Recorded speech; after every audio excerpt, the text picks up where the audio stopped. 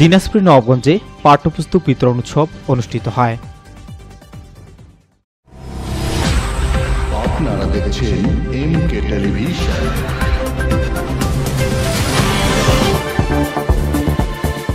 আসসালামু আলাইকুম।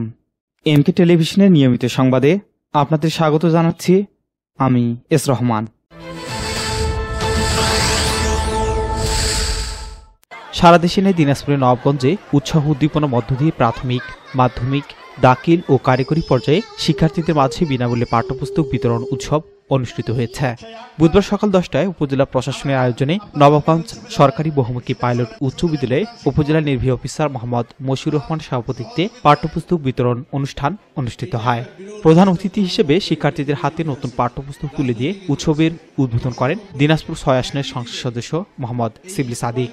এ সময় উপস্থিত ছিলেন উপজেলা মাধ্যমিক শিক্ষা অফিসার মোহাম্মদ তোফাজ্জল হোসেন, উপজেলা প্রাথমিক শিক্ষা অফিসার মোহাম্মদ রিজাউল করিম, উপজেলা আওয়ামী লীগের সহসভাপতি সাদিকুল ইসলাম যুগ্ম সম্পাদক জিয়াউর রহমান মানিক সহ আরও অনেকে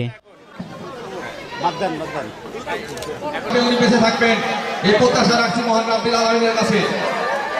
এবং আরও তার সঙ্গে উপস্থিত পরবর্তী সংবাদ দেখার আমন্ত্রণ জানাচ্ছি এস রহমান এমকে টেলিভিশন।